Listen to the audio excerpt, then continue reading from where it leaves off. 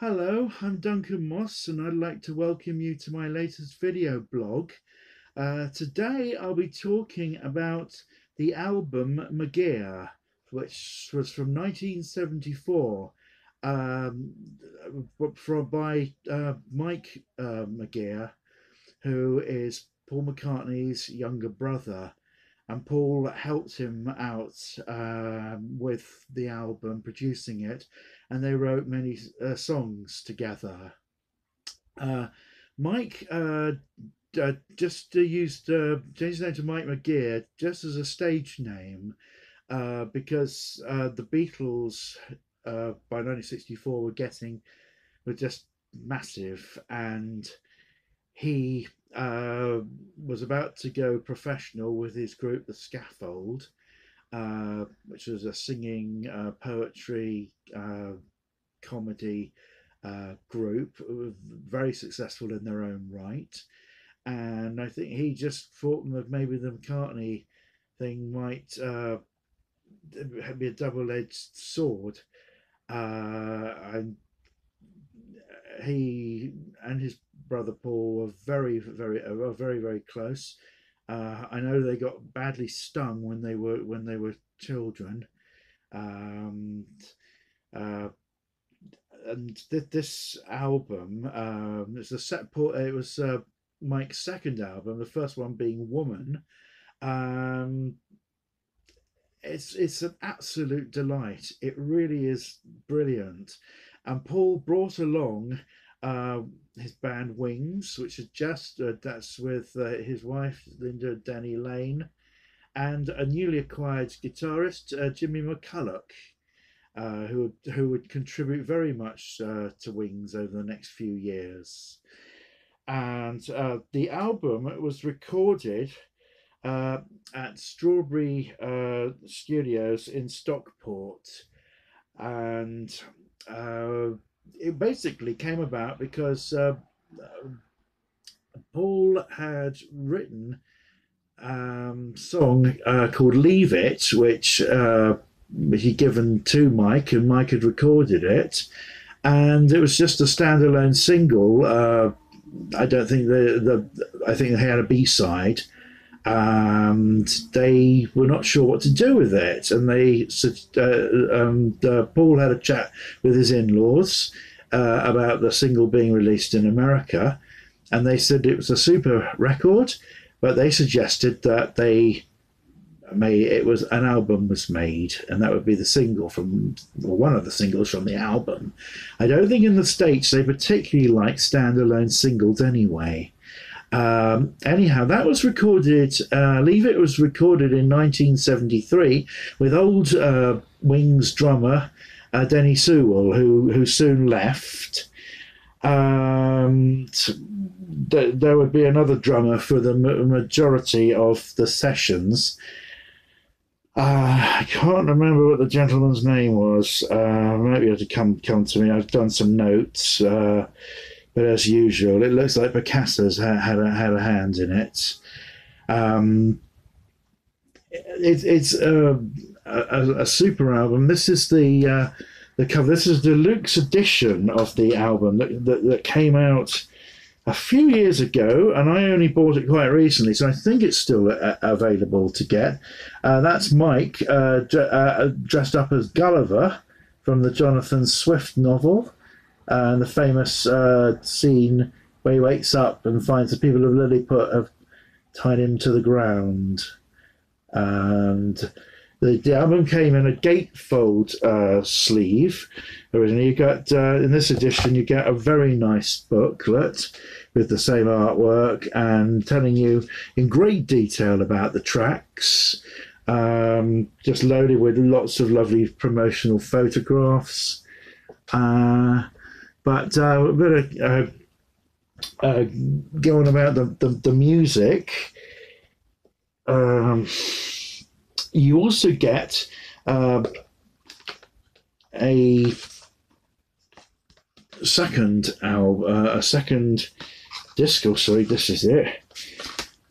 Without takes and other some other songs that didn't get onto the finished album. Um, there's there's uh, "Let's Turn the Radio On," which is a lovely song, and and a, and a very long version of "Leave It," where uh, Linda's uh, backing vocals are much more prominent. They turned them down a little bit for the finished single, uh, so I think just so that Mike's voice could come through. Although uh, Linda's uh, backing vocals are, as always, excellent. And Paul and Denny and Linda's vocals, are backing vocals, are all over the uh, the album, and there's even little bits where Paul and Mike do a, a duet. Uh, you then get uh, this very, very nice. Um, it's a it's a very nice uh, interview uh, by uh, Mike from a few years ago. Comes across as a very very modest man. Uh, he has some lovely anecdotes to tell. I obviously won't spoil it by telling it everyone, but the ones that tickled me were a time when uh, George Harrison flashed at him. When I say flash, I don't mean flashed his headlights at him. I mean, went, went like that with him. And I won't spoil it by telling you the rest of the story. Uh, also, when he was performing Leave It on Top of the Pops, the he asked for a cape. He had a hat and he asked for a cape, and the BBC props department couldn't couldn't find one, so they had to go far a little bit further afield get one, and they went to Bray Studios, where they got uh, uh, Christopher Lee one of Christopher Lee's Dracula capes. Um, so that that was uh, that was uh, quite quite nice. I hope the the, the single "Leave It" it's uh, had modest chart success in the UK. It got to number 36, which means people went out and bought it, uh, but perhaps uh, it deserved better. I'll come to it in a minute. I'll go through the tracks one by one. Um, the first track is uh, Sea Breezes, which is a cover version of the Roxy Music song written by Bryan Ferry it's quite a mournful uh, song. It, it, talks about angels having also having trouble with in love. Uh, it, it's very sad, but it's beautifully produced, and there's a there's a very very mournful piano and a, and a very very pleasant use of, of an oboe. Uh, and that opens the album, uh, but don't think it's going to be all uh, sort of sadness because there's a lot of up tempo tracks as well. What Do We Really Know um, was uh, written by Paul, and most of the tracks were written by Paul and Mike together. Uh, sometimes Linda contributed, and there was uh, one track that Roger McGough uh, uh, supplied the lyrics, uh, but Mike sang the, uh, sang the vocal. But what do we really know? It's a very up tempo song. It's in three bits. The first section is almost like it's come off the Revolver album, with George Harrison lending a hand. Um, the main, then you get the main song, which is a very upbeat, boppy uh, song about you know what do we really know about about people? What do we uh, what do we know about life? And probably the answer is probably not as much as we'd like to think. Uh, but and then uh, when the main song is over, you get a rocky piece. Uh, which I thought was actually from the next track, but it's not. Uh, so, but it's a very nice way of ending the song. We then go to a track called Norton, uh, which is um, a story about uh, basically a young lad at school who's very, very uh, bit sw- swatty, very good at work, and seems to be also very good at sport. Uh, and gets jealousy from the other boys, it seems, and uh, he he he joins the army, and uh, there's some some vocals um, uh, from uh, on that track. I believe that Derek Taylor is somewhere on the album. I think it's that track. Uh, now, Derek doesn't need any introduction any Beatle fan, or uh, because uh, he was worked for the Beatles um, in the early days, and then he went over to America to work for the Beach Boys for about three or four years, and then he came back uh, to the Beatles. He got back uh, to the Beatles, and um, he his job was a very difficult job at the end when the Beatles broke up because he had he basically was a very very mature and sensible. Um, interview by, uh, with the press about what was going on, and he he, he did a very good job. And uh, but uh, Norton uh, is, uh, I think we can all identify with someone at the school. Maybe you were someone like like him. Uh, I wasn't because I was too thick. um, then we got in track four. We got Leave It uh, with the most uh, blistering uh, saxophone solo from a chap called Tony Coe. Uh, which is prominent right through through the, the, the, the song. There's on the uh, the DVD interview, you get uh, the promotional uh, clip that uh, Mike did in a in a sort of stately home with a very beautiful and very very slim girl running all over the place in a flowing dress. Um, he also did a, a promotion uh, on video. Um, uh, which never got shown. Again, that, that that's on YouTube, and he comes across uh, with a very strong personality, and uh, he comes across very, very um, as a person who. Uh, perhaps uh, deserved to be in the public eye a bit more. Uh, then we've got a song called Have You Got Problems, number five, which is a boppy rocker very very uplifting. And uh, then we've got a, a, track called "The Casket," and this is uh, this is uh, Paul McCartney writing with uh, with with lyrics by Roger McGough, and um, it's a very atmospheric uh, track, a bit mournful, a bit going looking back into time almost. With the talks about hermit crabs uh, running for safety uh, when children are coming down from the hills. I presume children being what they are, they probably uh, took the hermit crabs and I don't know, did something unpleasant to them. I, uh, I, I, don't know. Maybe maybe I'm being very morbid. Maybe the children were very nice to the hermit crabs. I don't know, uh, but it's it's a very mournful uh, song, and it has uh, pipes uh, played on it. Uh, um, uh, one of the the the chieftains played these these beautiful pipes on on the, the song, which, which gave it a, a great deal of atmosphere.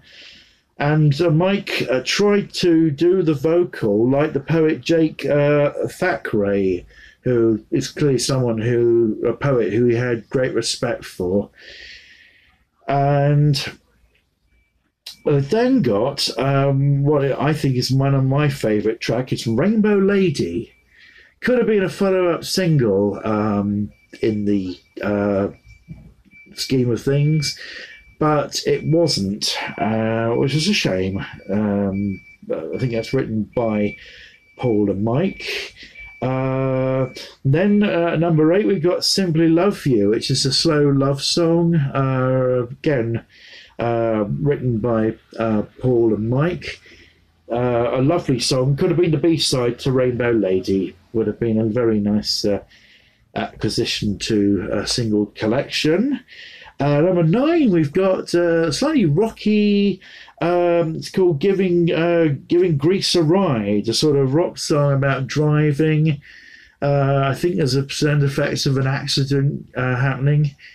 Um, sort of, I, I haven't don't know the track well enough to know the outcome, who got hurt or anything. Hopefully, nobody.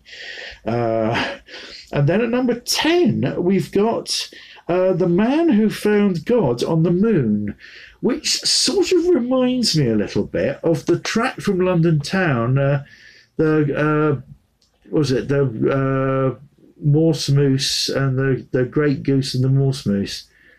Oh, let my brain. Sorry, the heat is just. Uh, it, it's a it's a long track with a with a sort of story behind it. It's got Buzz Aldrin uh, uh, vocal on it, and uh, another guy. Um, uh, oh goodness. Uh, yeah, Robert Dougall, who was many of you remember was a, a BBC news reader. Uh, as I say, I, uh, Derek Taylor might be on that. I, I couldn't find him, but he's certainly somewhere on the album.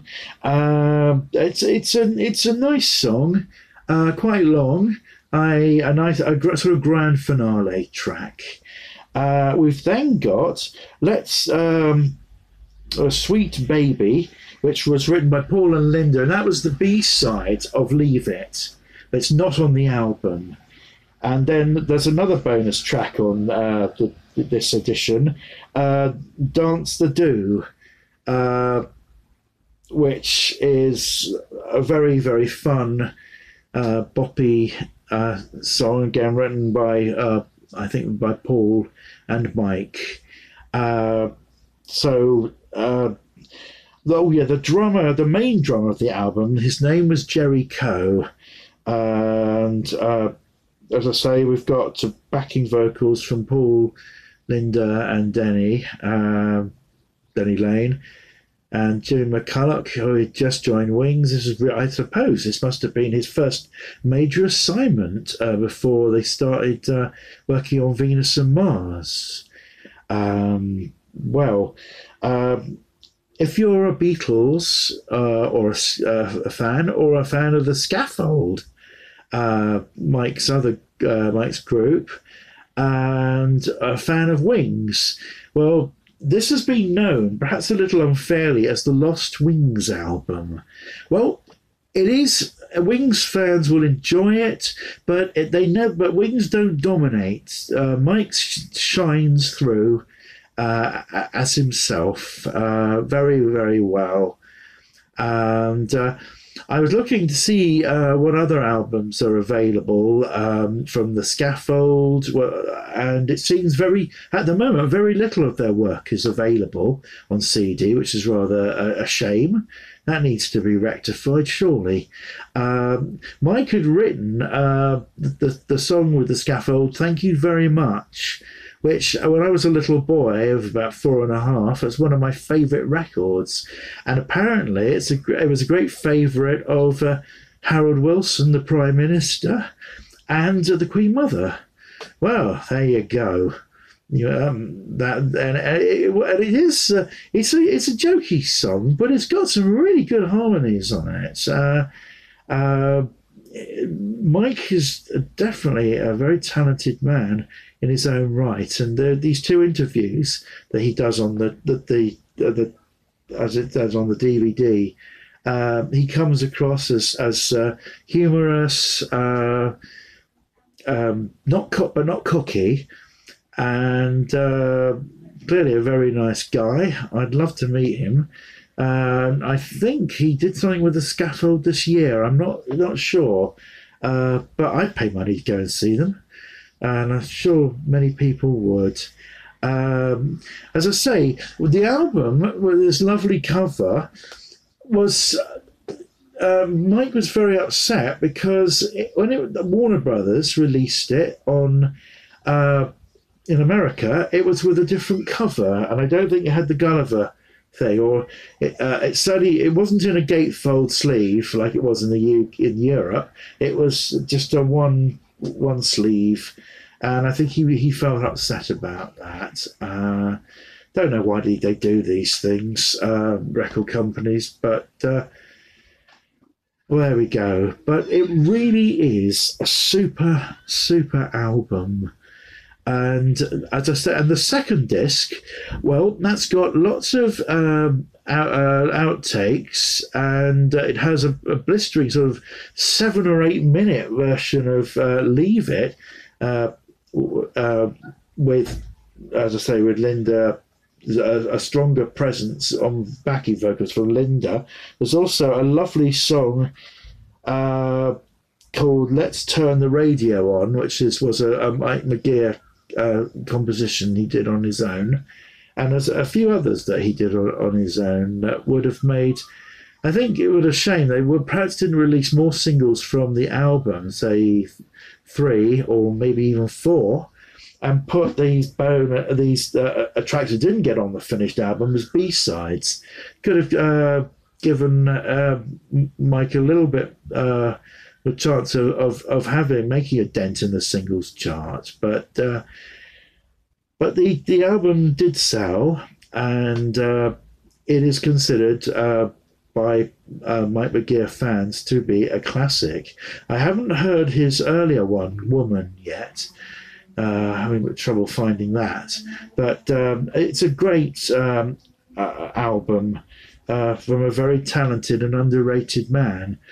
And uh, I don't know if you enjoyed this review.